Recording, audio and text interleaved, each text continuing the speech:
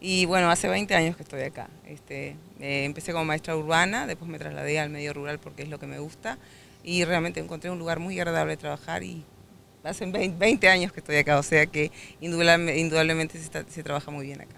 ¿Qué particularidad tiene esta escuela? Es una escuela unidocente, tenemos todas las clases de inicial a, sexto año, eh, con un cargo de unidocente. Este, eso mm, presenta algunas dificultades, pero es una fortaleza porque los niños van aprendiendo este, por aproximación unos con los otros, el contacto, este, y eso se vuelve muy bueno, y máxime cuando hay un muy buen apoyo de la comunidad, este, eso hace una escuela muy especial, este, porque todo lo que se organiza hay apoyo de la familia, de la comunidad, este, que es fundamental para la educación de hoy. Eh, muchos de los problemas este, de las escuelas grandes es exactamente eso, es arrimar a la, familia. Y eso es un objetivo que hemos logrado y se ha mantenido por muchos años. ¿Cuántos policías vienen? Eh, tengo 12 niños, 12 niños. Eh, he tenido, trabajado con más niños, pero en los últimos años es un número que se ha mantenido, 12, 14 niños. Este, y bueno, y la perspectiva es que se mantenga ese número en los próximos años acercar a la comunidad. Cuando viene el Expreso Esperanza, viene mucha gente, se, concentran aquí.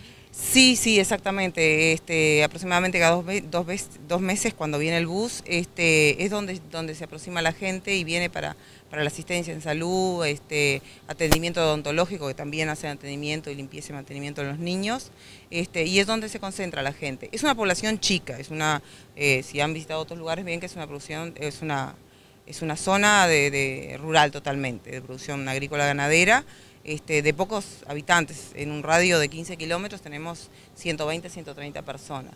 Este, tiene características totalmente rurales, por eso tampoco la población de niños, ¿no?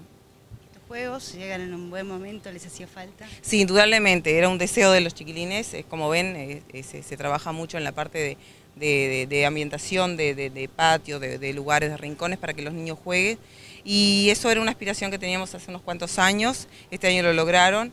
Este, además considero que es un derecho de los niños y los niños rurales tienen el mismo derecho que todos los niños del país.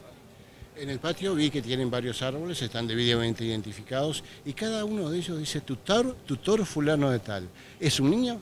Sí, exactamente. Nosotros tenemos un proyecto que se llama Cuidemos nuestra, Conozcamos y Cuidemos nuestra flora nativa, donde cada niño, eh, cuando llega primer año, eh, o sea, tiene dos años de sensibilización, cuando llega primero el Día del Medio Ambiente, adopta un árbol y tratamos que sea una especie nativa, este, entonces lo cuida durante todos esos años que queda en la escuela, hace un estudio de él, de nombre científico, familia, todo eso, los usos, y lo mantiene eh, en el predio escolar. Y después que se va, sigue siendo para siempre su árbol. Hoy precisamente es el día de la no violencia contra la mujer y la violencia doméstica. ¿Cómo se refleja esa situación que es tan eh, terrorífica en la ciudad, en el medio rural ¿Es más o menos igual? No, por suerte somos privilegiados. El tema de la violencia eh, no es un problema en el medio rural. En la violencia a nivel de escuela, de niños, y eso se reflejó en la familia. Eso implica, no, no quiero decir con esto que no exista ningún caso, puede existir algún caso, pero reflejo de los niños, cómo trabajan, cómo participan en, la escuela, cómo son este, compañeros, amigos, significa que vienen de, hogares este, sin, ese tipo de problemas.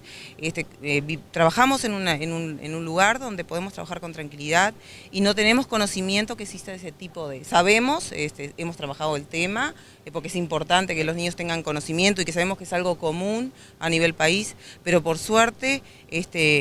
Em, no, tenemos ese tipo de, problemática hoy en el, medio, en el medio rural, en este medio rural. Tampoco tengo conocimiento profundo de otros lugares.